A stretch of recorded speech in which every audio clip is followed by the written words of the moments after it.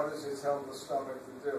Release hydrochloric acid, release pepsinogen, you all remember that? Makes the what? Muscles move, it makes the cardiac sphincter contract so you don't get acid reflux, and it allows the what? Pyloric sphincter to open or relax a little so you can push a little food where? Into the duodenum. You all remember that? Amazing. I come and ask that I do instruction